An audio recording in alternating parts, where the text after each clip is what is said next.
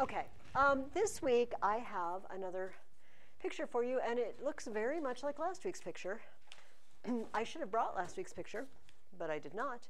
Um, this is uh, another another virgin and child. Um, I'm going to just let you pass it around because it's distant. This is Duccio. Duccio was a contemporary of Cimabue and Giotto that we talked about that you actually saw mentioned in your purgatory reading for today. He's from Siena, the Italian city of Siena. So if you have looked at the notes at all um, for the Italian guys, shall we say, uh, that he meets, uh, you've run into the name Siena, a rival Italian city. Duccio is from there. Um, this painting was probably delivered in 1286, also painted during the lifetime of Dante.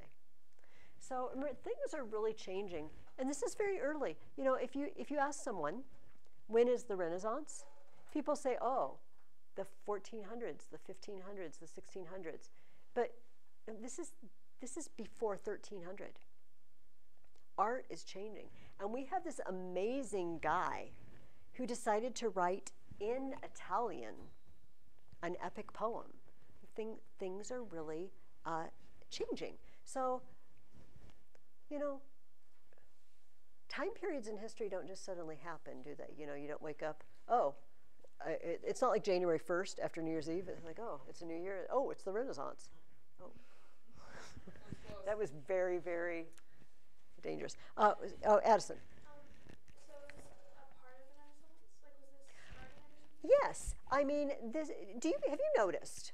First of all, how many references there are to Greek and Roman mythology? They're already really, really, uh, let's say, Renaissance means rebirth, right? So they're giving birth again, or you know, knowledge of Greece and Rome is really blossoming. Um, it's not full out. Remember, when Dante is writing, there is still a Roman emperor on the throne in Constantinople. It hasn't fallen yet. When that happens, though, they're all going to run for it. They're going to run for it. They're going to grab every Greek book they can get their hands on and head west. And it's just going to be dumped on Europe, and people are going to be amazed, and they're going to start learning Greek again. But even at this point, they've sort of got the idea that you know they're rediscovering the writings of Cicero, for example, and they're saying, He's a model of Latin composition. I wish our because remember, they were still writing in Latin. We always think of, oh, Latin is a dead language, it died with the Romans. No, it didn't. Just a couple hundred years ago, what, 250 years ago, Isaac Newton wrote his treatise on gravity in Latin. Um, so, but they rediscovered really nice Latin style. It's like if uh, we all turned into people who say, gonna and imna and stuff like that. And then we rediscovered the language of John Adams and Thomas Jefferson. You know, we said, oh, those people knew how to speak English. Let's all talk like them. This is what they were doing. Like, let's all be Cicero.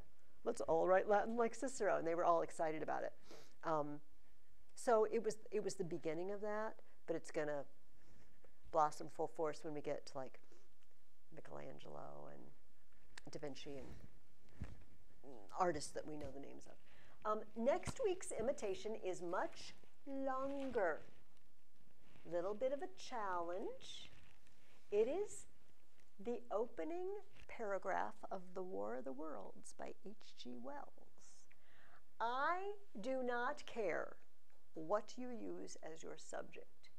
I used um, ants at a picnic. Um, so there, the H.G. Wells' first sentence No one would have believed in the last years of the 19th century that this world was being watched keenly and closely by intelligences greater than man's and yet as mortal as his own.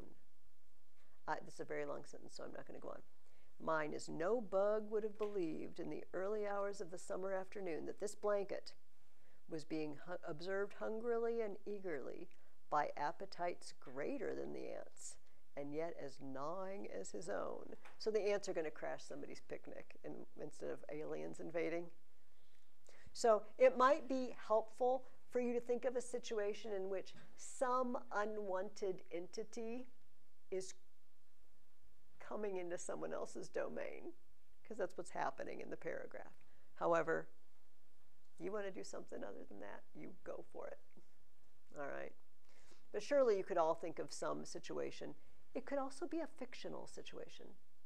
I mean, my picnic was technically fictional, but I mean, it could be from a book or a movie. You know, just think of someone or something coming in. It could be your sibling coming unwelcomely into your room. I don't care. But it's going to take a little doing. So don't put it off. If you are the person who possibly is putting this off until Mondays, don't do that. Work on it a little bit this week because it's much longer. But I have great confidence in all of you. I, you've given me some great stuff. Um, okay, let's take a look at the purgatory. And as promised, does anybody have a question about my questions? Was there a question I asked that you just spent all week searching for?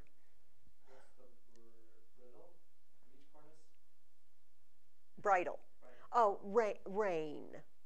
I shouldn't have called it a bridle. The whip and the rein is a bridle is a rein. The same thing. I'm sorry that I phrased it like that. Um, I must have written my questions out of a, a different translation, and then I switched to this one, and that one used bridle.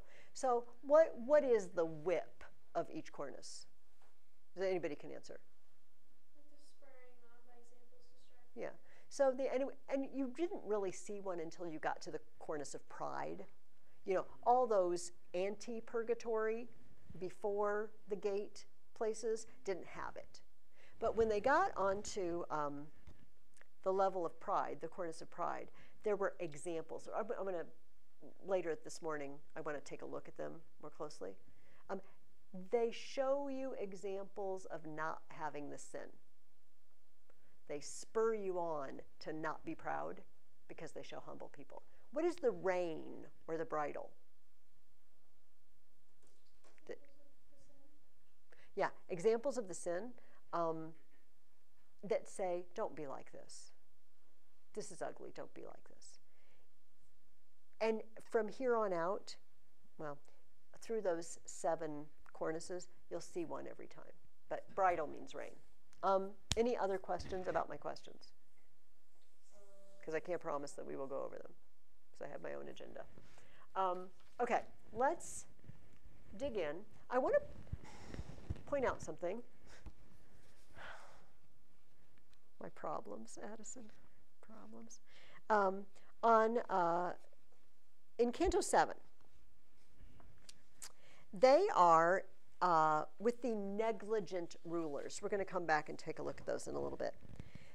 But night falls. Was there day and night in hell? Somehow Virgil knew what time it was. Do you know? Sometimes he said, Oh, the star that rose then is setting now, and we need to get a move on. Like Virgil, how do you know? You're in the middle of the earth. How do you know? He knows. But here, there's actually day and night, and they can see sun and they can see stars. Yeah, Dominic. Maybe. It's just something they know there. But here it's actually physical. There's day, and the sun comes up because it's actually a mountain in the real, in the air, in the real world. But he gets to this cornice, this ledge. They're not through the gate yet and everybody just stops. Um, and he meets someone there, and it says that this, this person says, But the day is fading fast, and in no case may one ascend at night. We will do well to give some thought to a good resting place. What is it you say? My guide asked. If one sought to climb at night, would others block his way?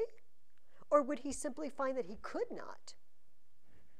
Once the sunset, sunsets, that noble soul replied, you could not cross this line, and ran his finger across the ground between him and my guide.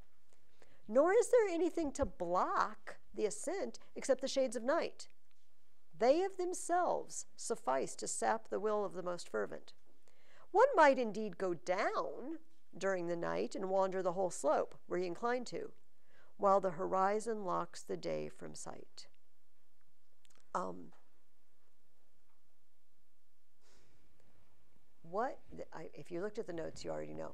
What could Dante mean by saying that the mount of purgatory can only be climbed during the day, and when the night comes, you just can't, you just can't go up, no matter how hard you want to? What do you think?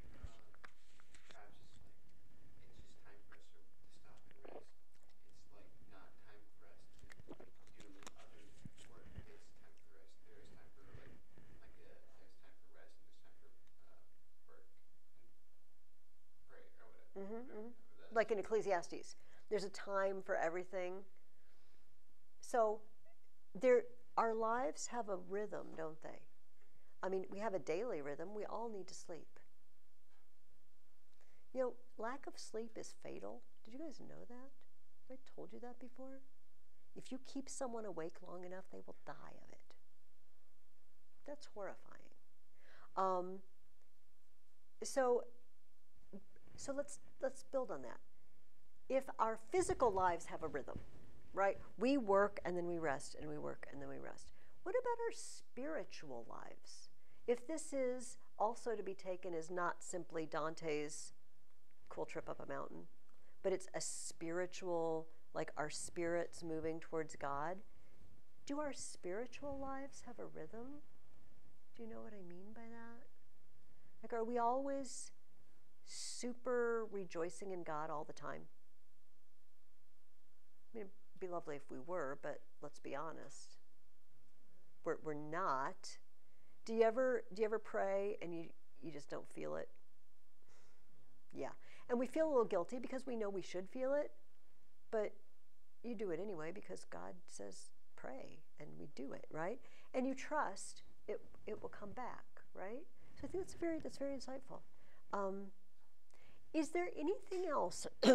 what what does the sun maybe if the sun was a symbol of something, what might the sun be the symbol of?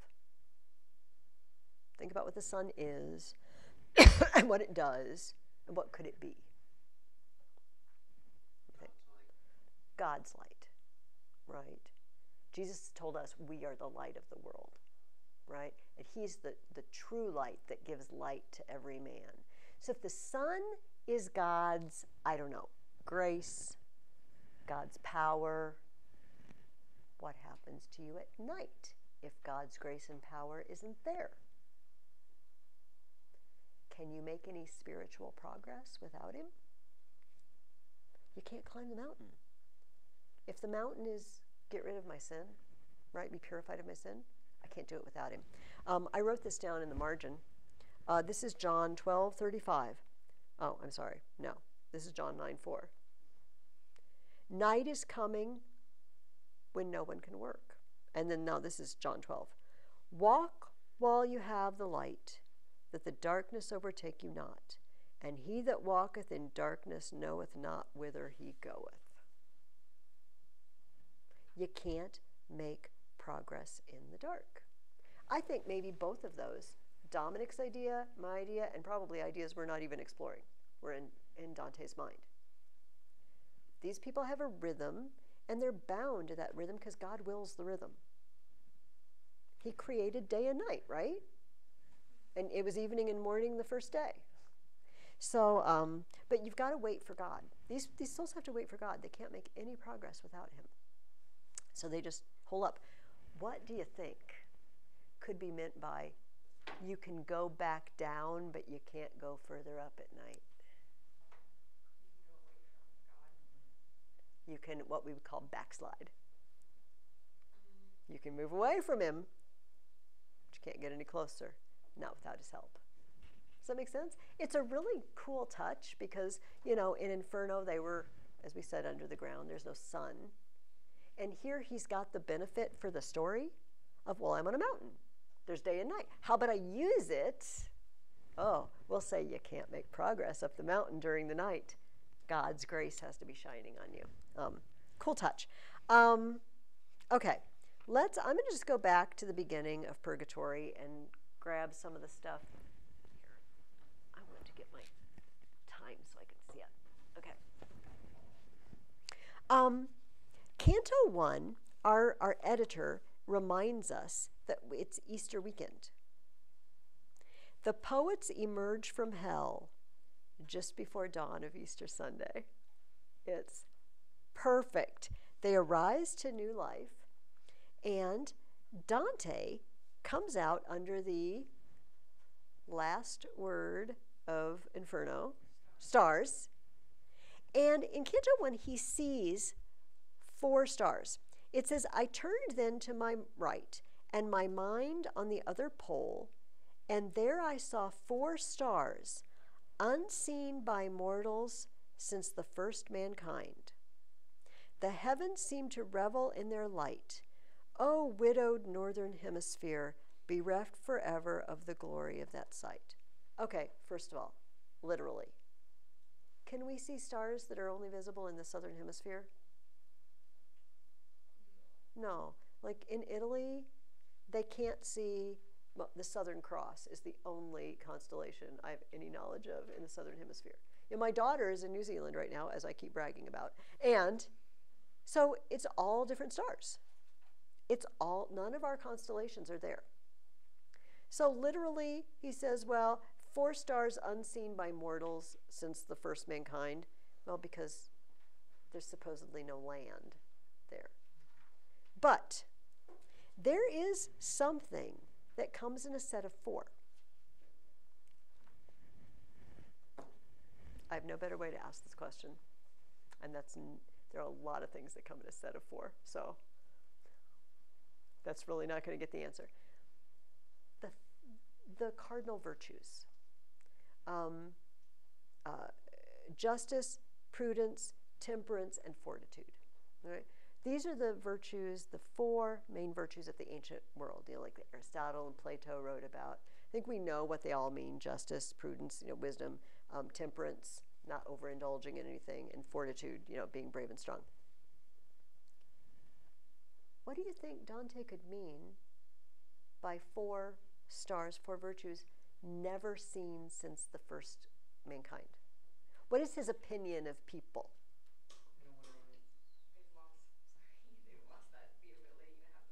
Yeah.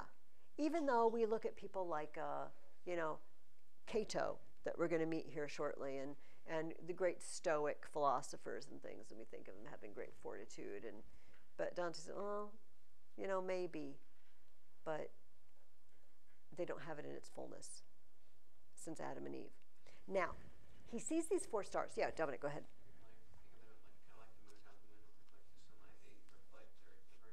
Yes. Yes. Um, he sees three more stars. Um, he looks at another, this is later. Um, my son, what is it that you stare at so? And I, at those three stars there, in whose light the polar regions here are all aglow.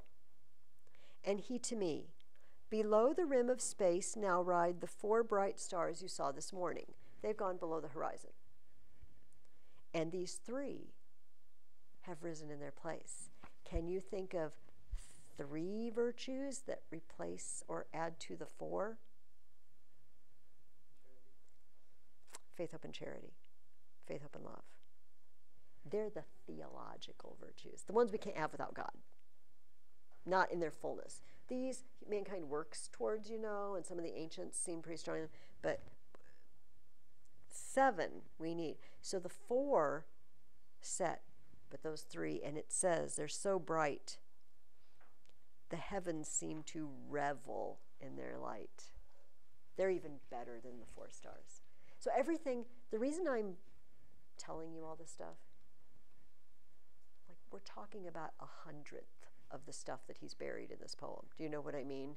I have a feeling we could just read this poem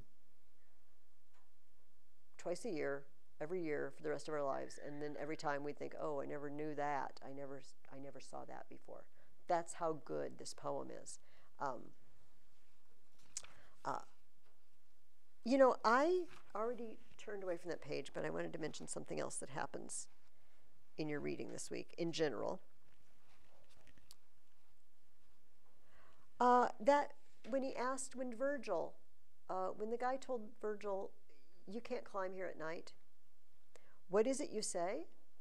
My guide asked. If one sought to climb at night, would others block his way? Why does Virgil not know how this works? Why does Virgil not know how things work here? He. He's never been here before.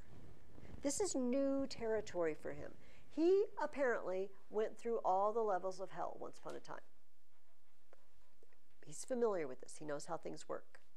But here, he's got to start asking questions. You see him asking, um, um, excuse me, where's the way up to the next level? How, how do I find that? What does Virgil represent? Human knowledge and human reason. Can you reason your way through purging your sin? Like I just, I, you know, I've decided that doing whatever it is, just fill in the blank, whatever besetting sin, it's unhealthy and it's wrong, and I'm just not going to do it anymore. There, done. Reason has told me that it is is wicked, or uh, we'll just pick my favorite gluttony, you know, because it's so obviously unhealthy. It's just so plain. You know, reason tells me that just excess sugar is really, really bad for me, and I have diabetics in my family, and, you know, heart disease, and I'm just not, I'm just, it's very reasonable. But then you wave a cookie in front of my face, or you give me a Whitey's gift card, which please, it's okay to do that. Um, and I am not reasonable anymore. Do you see what I mean? human reason is good. It's good to realize that, yes, if my blood sugar goes too high, you know, and I'm diabetic, that leads to a whole host of problems. You don't want that to happen. That's very reasonable, but it doesn't stop me, right? I have to have God's grace. Say, God, help me to take better care of the body that you made for me and you expect me to take care of. Um, so anyway, it's fun as you finish reading Purgatory. Watch how many times Virgil has to say, "What's the deal with this? What's going on here? Who are you? What is that?" Um, because human reason doesn't understand it anymore. Human reason understands something. He's not helpless. Virgil's not an idiot in Purgatory, but he doesn't know everything anymore. It's interesting. Okay, let's go back. Um, a, a boatman skip through a few things. A boatman takes them across. Um, and do you remember that a boatman also took people across into hell, right? I am going to read, um, I'm going to go back and read the boat trip into hell, just a couple of stanzas. And then I want to read the boat trip to purgatory, and I would like you to compare them. Um, this is Canto 2 of Purgatory. But I'm going back, in our books, I'm going back to page uh, 34 and Inferno. And it says this um, The steersman of that marsh of ruined souls, who wore a wheel of flame around each eye, stifled the rage that shook his woolly jowls. But those unmanned and naked spirits there turned pale with fear, and their teeth began to chatter at sound of his crude bellow.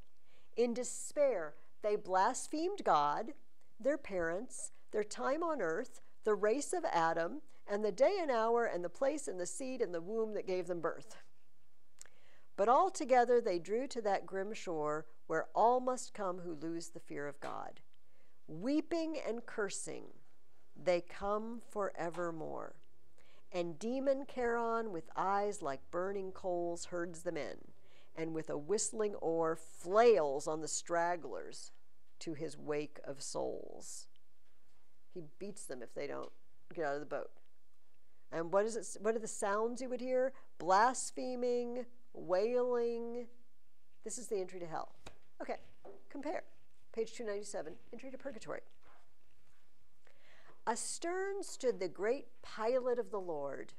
So fair his blessedness seemed written on him, and more than a hundred souls were seated forward, singing as if they raised a single voice in Exitu Israel de Aegypto. Um, when Israel uh, left Egypt, basically. Verse after verse, they made the air rejoice. The angel made the sign of the cross, and they cast themselves at his signal to the shore. Then, swiftly as he had come, he went away. What are they doing when they arrive? They're praising God. They're singing a psalm.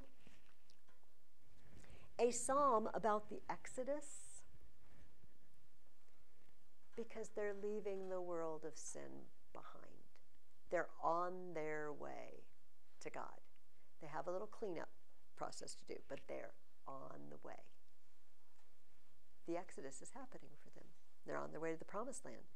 Uh, and, and instead of a demon boatman, they have a beautiful angel. It's the same scene, it's completely different. Because don't forget, don't ever forget, these people are already in heaven. They're just not capable of beholding God's glory yet. Like they're physically not capable. They can't handle it until they have a little cleanup process. Then they'll be able to handle it. Um, okay, so they, they head out, and um, I'm going to skip over a couple of these cantos. We meet the excommunicated, the indolent, the lazy. Um, remember, these are people who let something keep them from pursuing God. So, excommunication, obviously, they didn't seek reconciliation with the church till the very end. Um, laziness speaks for itself. Like, this is us whenever we're too lazy to pray, we're too lazy to read our Bibles, we're too lazy to go to church. Like, I just don't want to. I just don't want to. But remember, at the end of their lives, they called out to God God, have mercy on me, forgive me. And, okay, yeah. But, yeah, you did a lot of damage to your soul all those years, we're going to have to undo that damage. So now you have to wait to undo the damage you did. This, the ledge of the indolent, the lazy, um, uh, it says, Such is this mount, that when a soul begins the lower slopes, it must most labor. Then less and less the more it nears its goal. Thus, when we reach the point where the slope seems so smooth and gentle, that the climb becomes as easy as to float a skiff downstream, then will this road be run, and not before. Uh, not before that journey's end will your repose be found. I know this much for truth and say no more. Um, we turned together uh, to the sound someone called to them, and there, close on our left, we saw a massive boulder of which till then we had not been aware. To it we dragged ourselves. And there we found stretched in the shade the way a slovenly man lies down to rest and people on the ground. They had to drag themselves to the next ledge because it's the ledge of the lazy people. They lay on the ledge of the lazy people. Like, oh, I'm so tired. Yes, it's the lazy people. But is there another reason, maybe, that the bottom of the mountain is harder to climb than the top? What do you think?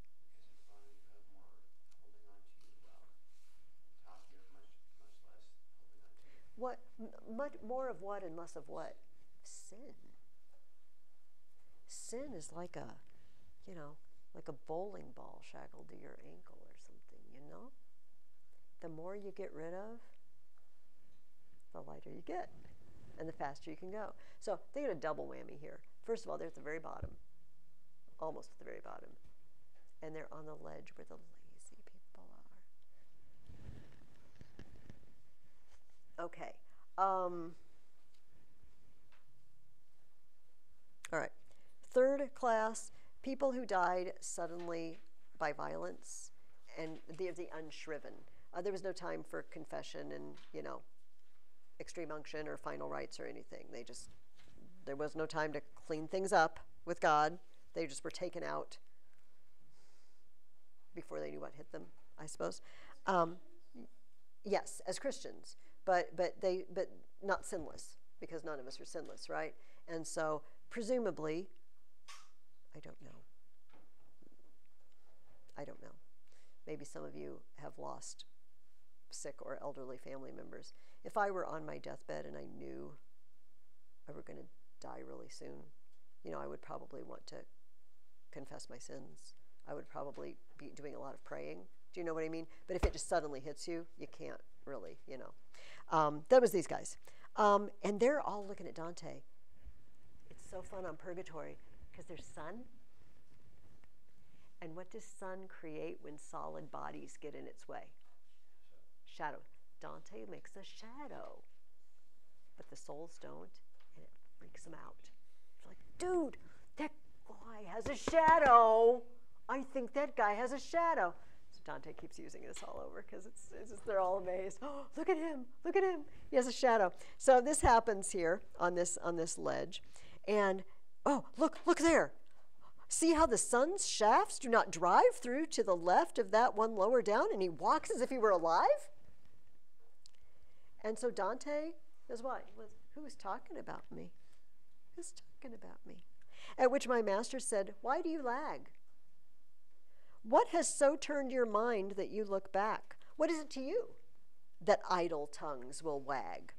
Follow my steps, though all such whisper of you. Be as a tower of stone, its lofty crown unswayed by anything the winds may do. For when a man lets his attention range toward every wisp, he loses true direction, sapping his mind's force with continual change. I feel like this is pretty plain. What happens to us when we care about people's opinions?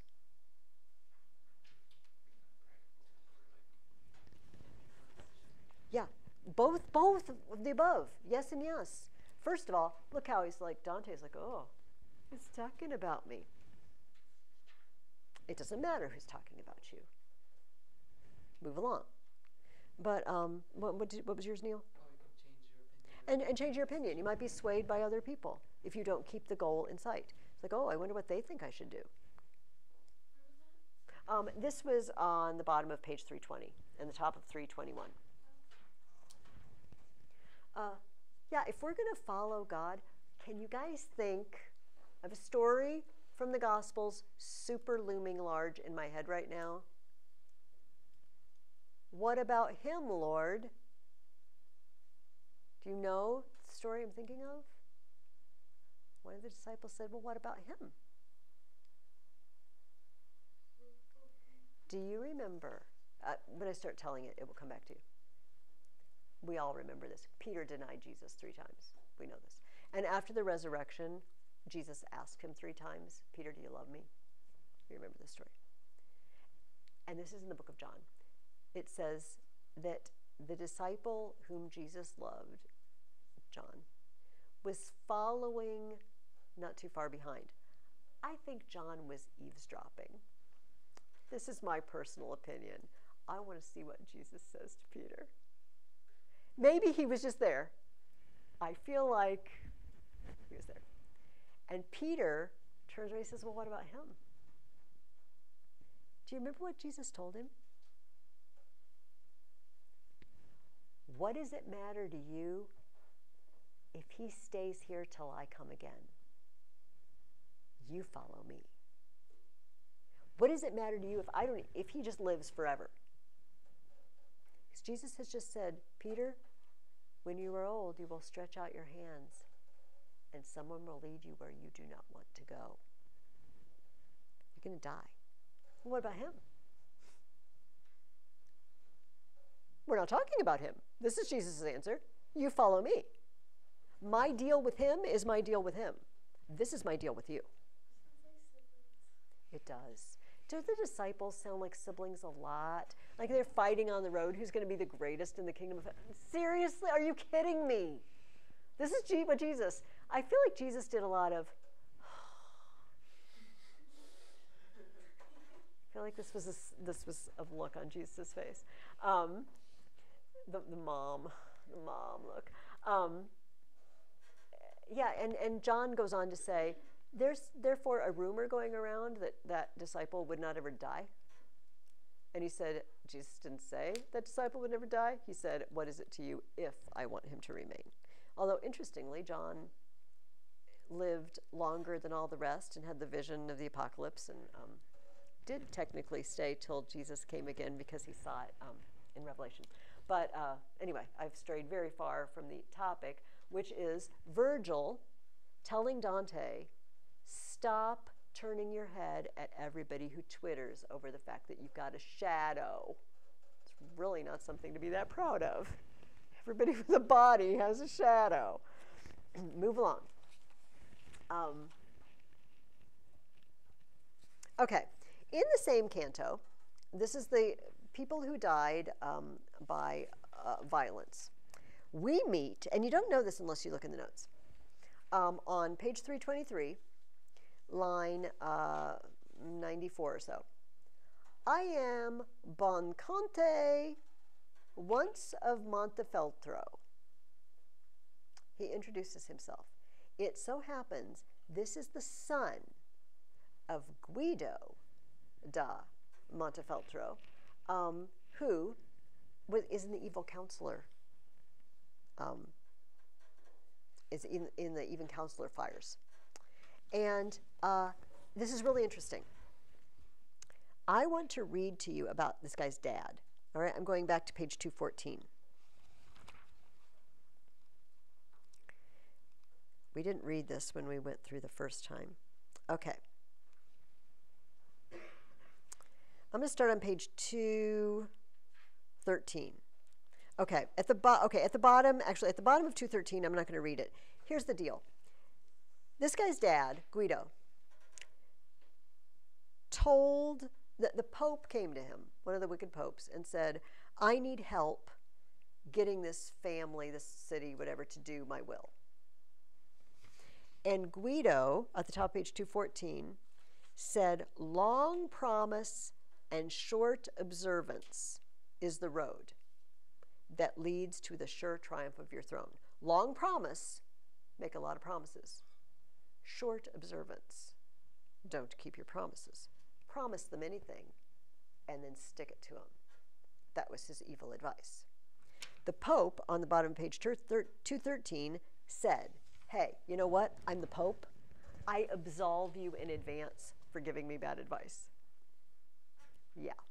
Well, it's not that easy, as Guido finds out, because on page 214, line 109, later when I was dead, St. Francis came to claim my soul. But one of the black angels said, Leave him. Do not wrong me. This one's name went into my book the moment he resolved to give false counsel. Since then he has been mine. For who does not repent cannot be absolved. Nor can we admit the possibility of repenting a thing at the same time it is willed, for the two acts are contradictory. If you aren't sorry for a sin, it can't be forgiven. And you can't do it and be sorry for it at the same time. If you're sorry for it, you wouldn't do it. You can't say, oh, oh, I'm going to do this wicked thing, forgive me. You're going to do it, you're not sorry for it. That doesn't work that way. So this demon says to St. Francis, uh, no, his soul's mine. I'm not, I think because he was in the Franciscan order. The evil counselor was a Franciscan. Um, Miserable me, with what contrition I shuddered when he lifted me, saying, Perhaps you hadn't heard I was a logician. Maybe you didn't know Satan knows logic. Yeah, law of non contradiction. You can't, a thing can't be and not be at the same time in the same way. Uh, yeah, I know logic. Come along. So Guido tells the story of how the, the good spirit and the wicked spirit came to snatch his soul and had a little argument, and the wicked one won. Now, back to page 324. This is the guy's son. He's there with the um, uh, died by violence. Um, line 106. There my sight failed. There, with a final moan, which was the name of Mary, speech went from me. I fell, and there my body lay alone. I speak the truth. Oh, speak it in my name to living men. God's angel took me up, and hell's cried, Why do you steal my game? It's the same thing with the son. If his immortal part is your catch, brother, for one squeezed tear that makes me turn it loose. I've got another treatment for the other. This demon is so angry. He's like, Are you kidding me? You're stealing him because he cried out at the last moment before he died for God's mercy. For one squeezed tear. He says, Well, if the immortal part is yours, I'm going to do something with the part that's mortal. And uh, he washes his body down the river so it's lost in a swamp and they can't find his body ever to bury it. That's all they can do. Can't touch his soul. I love this. I love this because God is so merciful, right? The least crying out to him at the last minute. It's like, okay, okay, awesome. You're mine. Um, Dante was so smart. He does the Father and the Son, and he tells exactly the same story, but with a different result. This time, the angel, the angelic forces get his get his soul, and not the demons. Um, oh, let me see what time it is. Let's skip up a little bit. Um, let's go up to the canto of the negligent rulers. Now, what does it mean to be negligent? Is it not know what you're doing, or is it something a little different? Ignoring what you should be doing. If you're negligent, you should have known and done something, but you just purposely didn't didn't didn't know it or do it. What does what does negligent ruler sound like? What does it if I say he was a negligent ruler, what does it sound like? Yeah, someone who wasn't a very good ruler. But in this case, it doesn't mean that.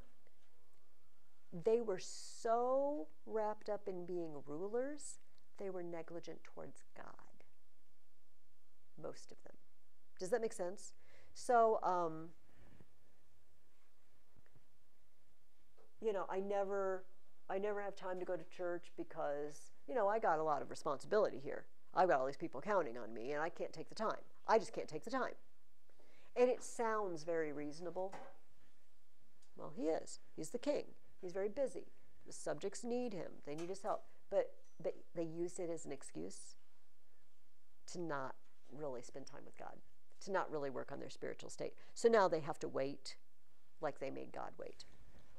Um, so those are the negligent rulers. But there's one of them um, that's different. Um, and I want to read the note on him. It says, and the, the, the soul that Sordello is the one they're with, and he's pointing out all of them. You know, all the famous kings of history. Is look, there's so and so. There's you know, there's this guy and that guy and that guy. See Henry of England seated there alone, the monarch of the simple life. His branches came to good issue and a noble son.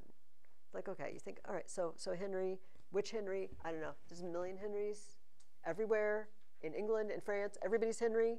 Um, but if we look in the note, Henry of England, Henry III, a pious but pallid king. His son Edward I, however, crowned a glorious reign with enduring for- reform of English law.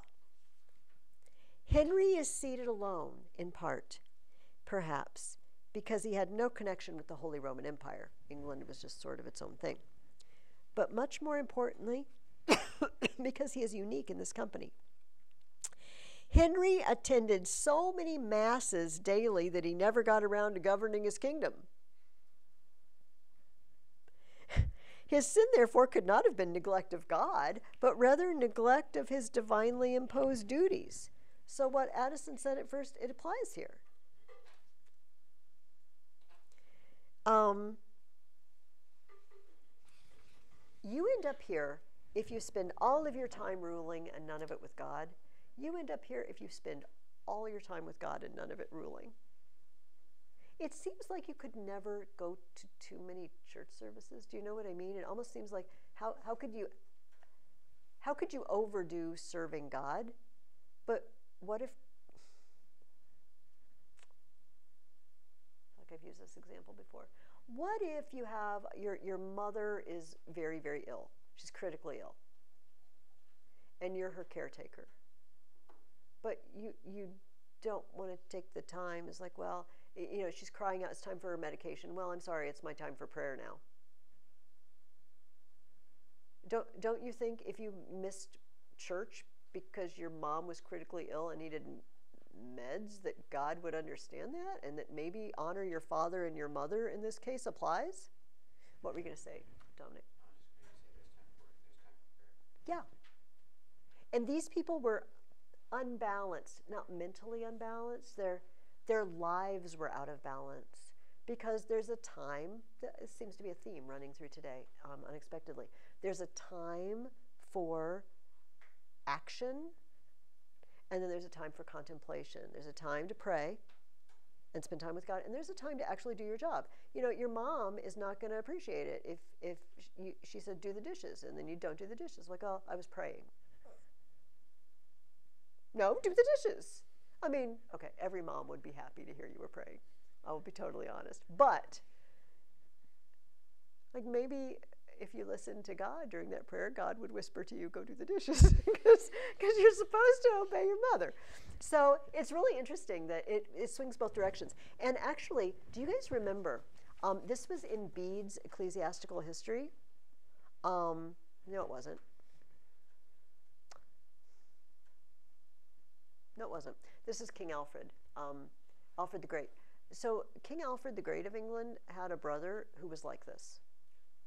Do you remember this? And um, I don't know if we talked about it here. We talked. Junior high kids talked about it. And uh, there was a big battle against the Saxons. They were all lined up waiting, and his brother was at mass. And the soldiers are on the battlefield, and the Saxons are about to attack, and they're waiting for his brother to get out of church. No, no, go out there and defend your kingdom. There really have been kings like this. So apparently, Henry III of England was a very pious man. That's lovely, but you, you actually need to do some ruling if God made you king, don't you? Okay. Um, he has a dream, if you remember, and um, he dreams that an eagle swooped down and carried him up to the gate of purgatory, and then he finds out Lucia has actually swooped down. Um, you might remember that Mary called Lucia, and Lucia called Beatrice. You know, we learned this in Canto 1 of Inferno or 2. Um, Mary said, You know what? Beatrice's follower down there, he's faring very poorly. Lucia, uh, patron saint of uh, clear eyesight and light, you know, go tell Beatrice he needs help. Lucia swoops down and um, takes him to the front step. And I want to spend some time taking a look at this front step. Um,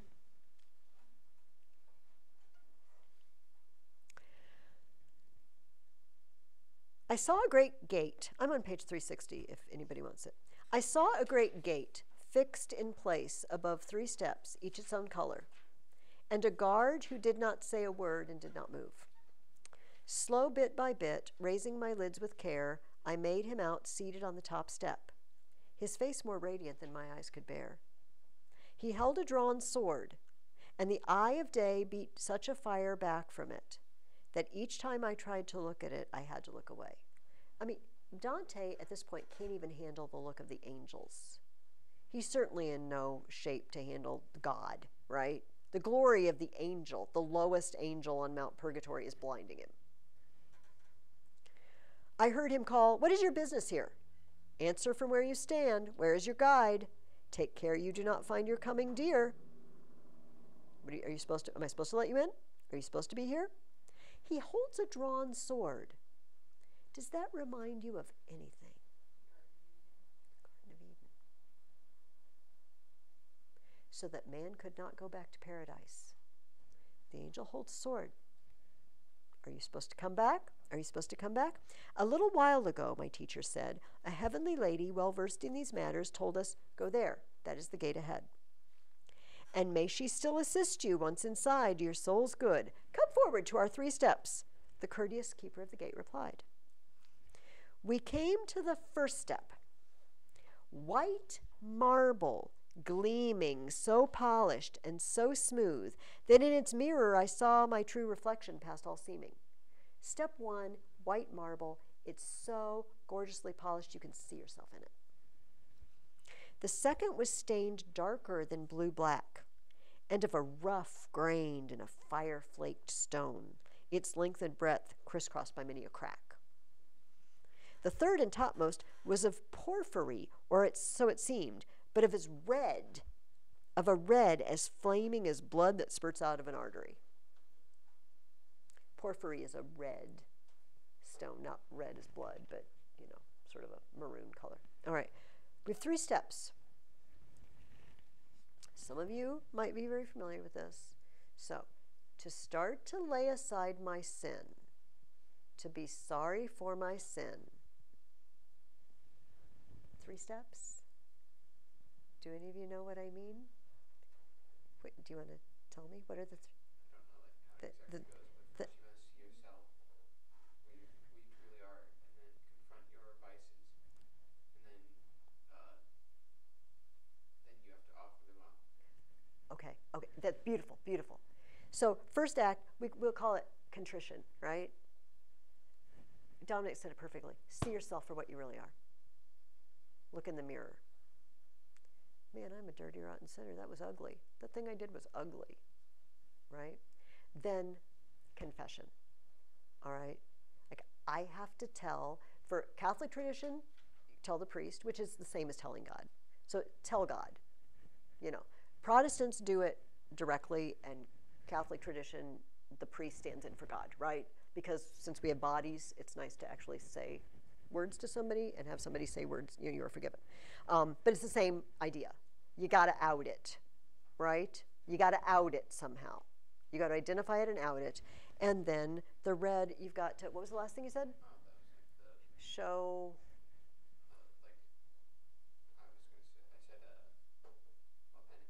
penance. So, um, uh, so the fiery like ardor. Um, um, I'm on fire to correct this, right? So it's like Zacchaeus.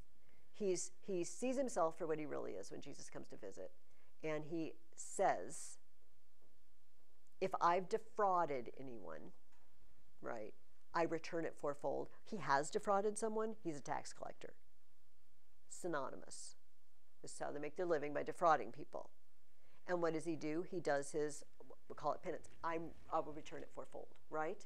So you got to go through the steps, right? If you don't do anything, if you just keep doing it over and over, you're not really sorry, if you know what I mean. Although we do do the same things over and over. Like, don't beat yourself up when that happens. But presumably, we get better. Do you know what I mean? If we if we ask God's help, God, I really want to conquer this whatever, this sharp tongue I have. And I just smart off all the time. And that's just ugly. I wouldn't want to do that. Well, you're probably going to keep smarting off a few times, you know, and every time you just say, sorry, God, I did it again. But eventually, presumably, you, you'll hold it back. But sometimes, you know, what might be your ardor, like I really want to say something and I'm just not saying a word. I'm already decided I'm going to this family get together or this meeting or whatever, and I've already decided in advance, not saying anything. I'm just going to listen this time, right? That's my that's my medicine, sort of. So he goes up these steps of uh, you know the acts of contrition, and it says, um, with great goodwill, my master guided me up the three steps and whispered in my ear. I'm at the top of page 361. Now beg him humbly that he turn the key. Devoutly prostrate at his holy feet, I begged in mercy's name to be let in, but first three times upon my breast I beat. Do you know what he's doing? What is it? If you, yeah, yeah. Mea culpa, mea culpa, mea maxima culpa. Through my fault, through my fault, through my most grievous fault. Um, seven P's, like the letter P. The scars, seven scars of sin, his sword cut into my brow. He carved seven P's. Peccatum is the Latin word for sin. Seven peccata. He said, Scrub off these wounds when you have passed within. Color of ashes. Of parched earth one sees deep in an excavation were his vestments. Why does the gatekeeper of purgatory have ash colored clothes? Renewal. Renewal? What, when is a time ashes are very popular? I'll just say. Like uh, when, uh, when a tree burns down, it spreads its ashes for the plants to grow. This is true. When do we use ashes for something? Ash Wednesday. This is, Dominic, you're too deep for my question. That's the problem. I was asking something very service, and you're just like, oh, it's the circle of life, and the ashes bring you. Yes, totally yes. But um, again, is it either or? No, it's both and. He means both. Um, so he's the color of penitence. His clothes are the color of penitence. And he drew out from beneath them two keys. One was of gold, one of silver. He applied the white one first to the gate and then the yellow, and did with them what left me satisfied. In other words, he opened the gate for me. Whenever either of these keys is put improperly in the lock and fails to turn it, the angel said to us, the door stays shut. One is more precious. The other is so wrought as to require the greater skill and genius, for it is the one that which unties the knot. This angel has the keys of Peter, basically. He's got two of them.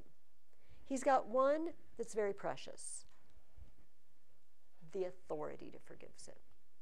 He's got one that takes greater skill to use wisdom in knowing how to treat a sick soul, right?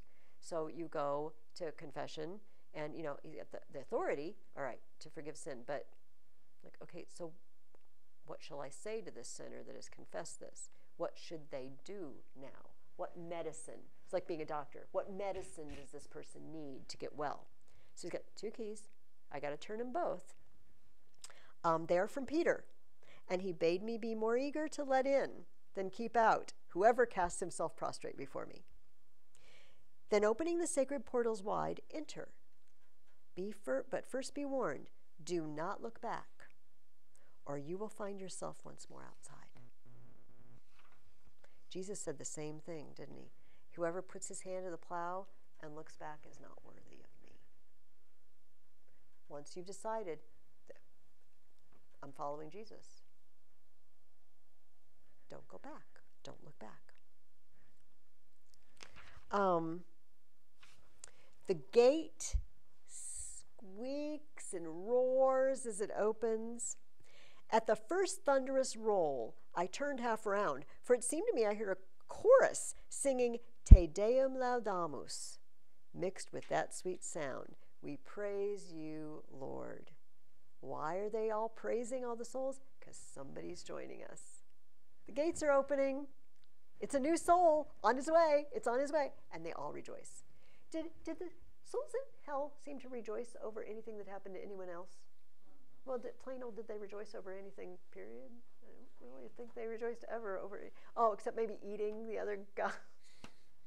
Not a very pleasant thing.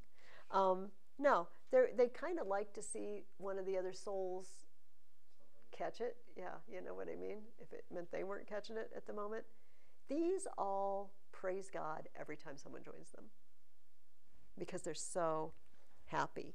Um, so the very first sound Dante hears in purgatory proper inside the gate is praises of the saints.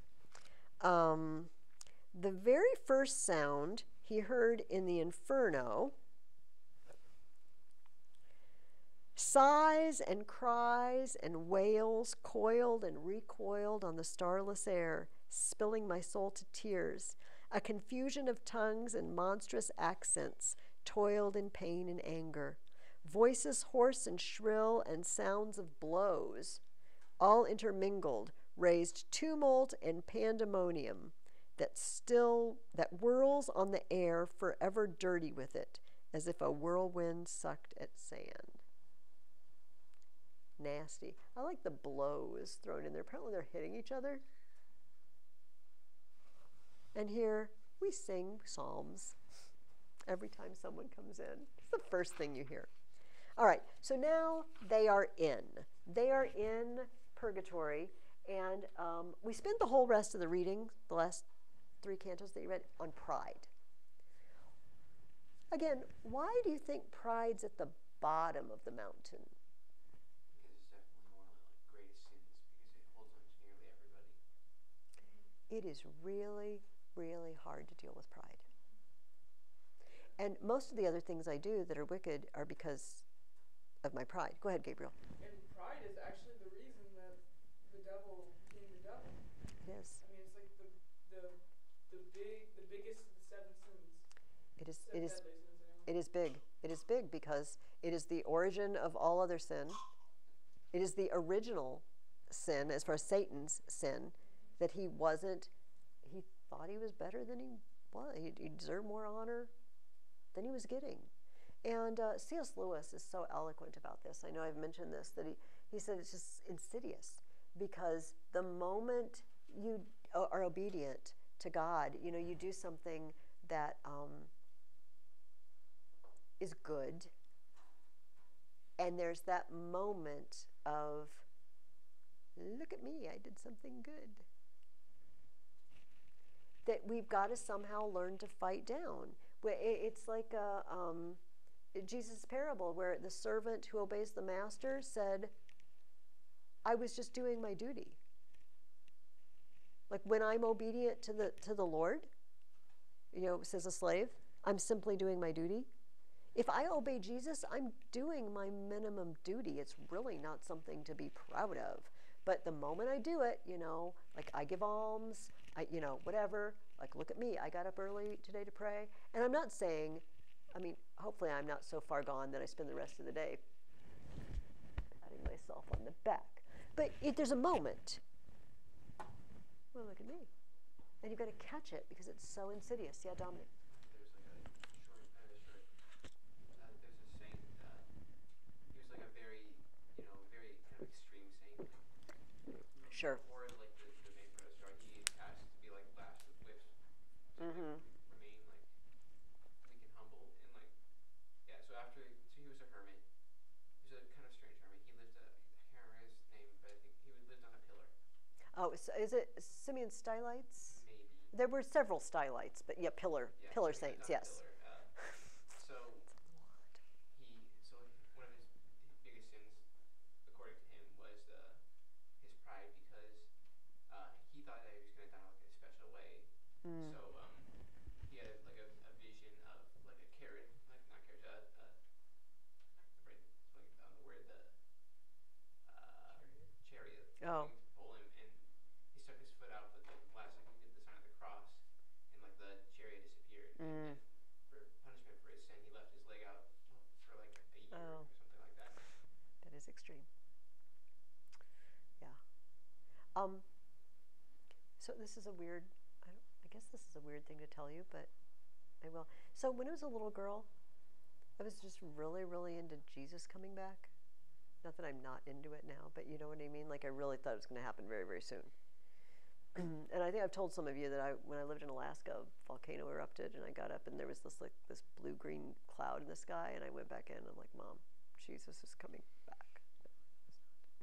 Anyway, so I got this impression when I was very little that I would live to see Jesus come back. Sort of like Simeon and Anna, you know, like I will. The older I get, the more I'm thinking, you know, it's probably like a six year old imagination saying, You're special. Yeah, but but I had that for a while. I had that, you know what, I've it has specially been revealed to me that I within my lifetime, you know, Jesus you know, and now I'm thinking, maybe not so much. Maybe I was just a silly little kid who was really into it. But um but yeah, if you thought that some grace had been given you, a special grace had been given you, the first thing you're going to do, that's just our human minds. The go to is look how special I am. I must be certainly above average, you know, and you fall into it. So pride is what they've got to confront first. Um, they've got to deal with it. And we, we meet for the first time this whip and bridle, which I accidentally called bridle the rein. Um, the whip of pride, examples of humility, in other words. We have Mary. Mary is also always the first example of everything, right? Um, who, um, it's the Annunciation. He sees pictures. He sees these pictures. They're like Harry Potter pictures, you know, like they're almost moving, live, living pictures. He almost can hear it, and you know, and smell it and see it moving around, but it doesn't. So we have the Annunciation. We have, second of all, David dancing in front of the ark. Do you remember this story? They were bringing the Ark of the Covenant up into Jerusalem after Jerusalem had been conquered. And it says he danced around just in his tunic, danced before the Lord. And if you remember, his wife, Saul's daughter, didn't think too much of this. It's like, what kind of jerk am I married to? He's the king for crying out loud. Look, he's making a spectacle of himself. And God did not like that. It said he, God struck her barren, and she was barren until the day of her death. She never had children. Because she, in her, she didn't even say it. I mean, just in her mind, in her heart, she mocked David. Just being humble before God. Um, and then the last one is Trajan. Trajan was a Roman emperor. And uh, the story in this whip is the, is the old story told about him that once upon a time he was on his way out to a campaign, um, to a military campaign. And a widow flung herself in, her, in his path and said, I've been wronged. You need to do justice for me. And Trajan said, um, Yeah, I'm on my way to a war. I have attendants who can deal with that. He says, Well, what, what if they don't give me justice? And, you know, what if I don't get satisfaction? Well, I can do it when I get back. Well, what if you don't come back?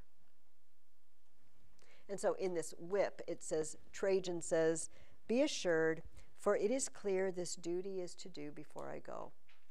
Justice halts me. Pity binds me here. Remember, pity and piety are the same word in Italian. Piety, my duty to God, binds me here. The guy was the Roman emperor at the height of the Roman Empire. And they say he got down off his horse and heard the widow out and went and took care of business before he left humble, right? Notice we have an example, um, always an example from Mary. We have another biblical example and a pagan example, right? Um, the examples come from everywhere, all kinds of stories. So that was the whip of pride. Every cornice, every level, the souls have a particular song they sing or prayer they do.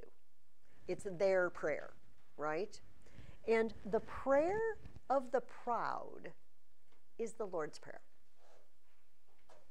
Although it's embellished a little bit. Um, and you guys read it. Uh, it's like festooning the Lord's Prayer.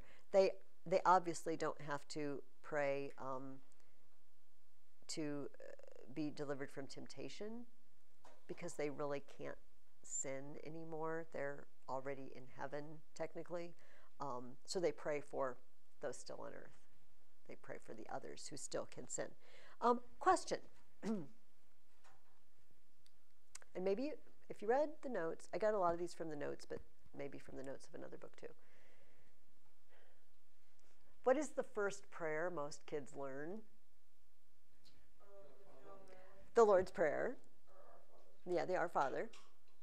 It's, it's just, it's very basic to Christians, right? If you're going to have your child memorize something, the Lord's Prayer is a good place to start. Well, this is true. This is true. But uh, uh, so in, in, in words, you know, this is the first memorized thing often. So, it, in other words, what class of people children know how to say the Lord's Prayer, right? Is there any connection in the, in the Gospels, in the New Testament, between childhood and, and humility? What does Jesus have to say about children? Let, let them come to me and hinder them not, for to such for such is the kingdom of heaven. There's another story where he said he had a little child brought to him and stood the child in their midst and told them to do something. Told everybody in the crowd to do something. Do you remember what he told them to do? And become like. This is what you should be like. The proud walk around saying the very, very basic prayer that even a child knows. Do you see where I'm going with that? It's tailor made for them because, like, oh man, this is very elementary. There are five year olds that say the Lord's Prayer. Here I am, say the Lord's Prayer. Why? Because you got to be humbled like a little child to get rid of the pride. So they wander around on the portals of pride, praying the Lord's Prayer. And he meets a guy on page 375. And I find this entertaining. Um, because you know how Dante does. He, he meets people and he says, Well, who are you? Can you tell me your story? The guy says, I was Italian, a Tuscan of great fame. Guglielmo Aldobrandesco was my father. I do not know if you've heard the name. He starts out, Oh, I was Italian. A, a, a famous Tuscan was my father. And he names him. A, a famous Tuscan was my father. And then he realizes, Watch it. Because what am I about? I'm being all proud of my family. Oh, I was Tuscan. My dad was really powerful. Oh, yeah, I, I, I don't know if you've ever heard of him. He shuts it down immediately. He knows he's got to shut it down. He catches himself. Um, uh, so Dante's very interested in this guy's story, and on page 376. Oh, by the way, what is the punishment of the pride? Proud. What, no, okay. Ooh, mistake. Never, every time I say punishment, call me out on it. It's the penance or the purging. They are not being punished. The people in Inferno are being punished. Okay? They're getting the due punishment that came on them. These people are being purged but it requires some sort of medicine or treatment to purge it. Do you remember what their purging activity is? Uh, don't they like crawl around with big rocks on their back? Crawl around with big, big rocks on their backs. I mean, huge. So they're just bowed down all the way with their faces almost to the ground. In, in fact, the rein of the, the whip and rein and this course are on the ground because these people can't lift up. They can't look up. Um, why? Why would that be a good choice? What do you think the connection may be, Dominic? Up. In life, I was very snooty. And now, I can think of another reason too. I think that's the main reason. Pride is a bit of a burden. Do you know what I mean? Um, like maintaining your image, curating one's image would be exhausting. I mean, it is exhausting because we all do it a little bit. Um, we all want to be thought of as being a certain type of person, and we have to be kind of careful not to blow it. So, for some people, it might involve, you know, how you dress or how you talk you know, just where you go. It, it could be anything, you know. Um, social media makes it really hard, right? We all know, I hope you know, if any of you are on Facebook at all, it's not any of it real. I mean, it's they're real people. They're imaginary people. But their lives are not that great. Nobody on Facebook has a life that's any better than yours, honestly. You know what I mean? Like my daughter is spamming Facebook, according to her brothers, um, with too many pictures of New Zealand right now. Um, yes, she's really on that trip, but is her life like that all the time? Oh, oh, heavens no. Oh, heavens no. She has a day job and gets tired of dealing with things just like every other human being. So, you know, you see, you see all the perfect stuff. You know, it's carefully um, curated. And this is a burden. The prouder you are of who you are and what you have, the more careful you are to make sure nobody knows the real truth or any weakness in you. You know, you don't want to let it get out. Um, so these people are bent down. And listen to this. You know, Dante's talking to one of them, right? And the guy he's talking to is bent down to the ground. So what does Dante have to do to talk to him? Bend down and put his head next to him. I had bowed low, better to know his state when one among them, not he who was speaking, twisted around beneath his crushing weight, saw, saw me, knew me, and cried out. And so he kept his eyes upon me with great effort as I moved with those souls. my head bowed low. I told you to look for something last week. Where does Dante do the same thing as the people on that ledge? And it's already happened. He's been down, he doesn't have a big rock on him, but he's bent down low. He is walking around hunched over. Um, Dante um, was very, it was well known that um, Dante was proud. He was good at what he did. This is really good stuff. Um, in Canto 12, at the beginning, it says, um, I drew myself again, because Virgil says, Come along, we, we got to go. I drew myself again to the position required for walking. Thus my body rose, but my thoughts were bent, still bent double in contrition. My thoughts were still down there with them because Dante is proud. Um, if it's in these notes, somewhere later. Um, I think we, we'll come across it later. Um,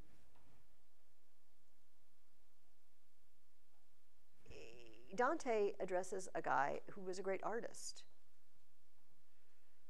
And he, this guy answers him, Brother, he said, what pages truly shine are Franco Bolognese's.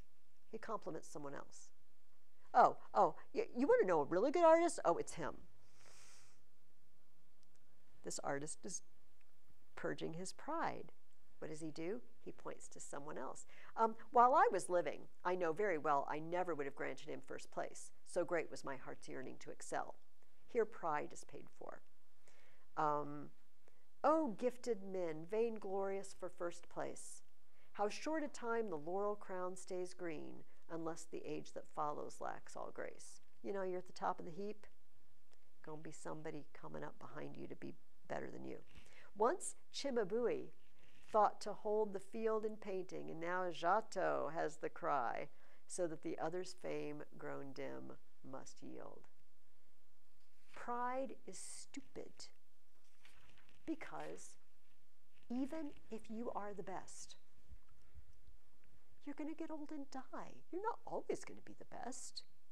If that's all your hope and trust, you know, you're an Olympic victor or you're you've got, you know, your song is number one on the charts, or do they even do that anymore? Um, uh, you, you know, what have you? You're Taylor Swift, whatever. She's going to get old. She's going to get old, and frankly, no one's going to like her anymore when she's not young and pretty exciting. I will not make a comment on talent or lack thereof, but you know, you're at the top of the heap, you're not going to be there forever. So, Canto 12, we'll finish off with this. Did anybody find, maybe you looked in the notes, it's totally fine if you did.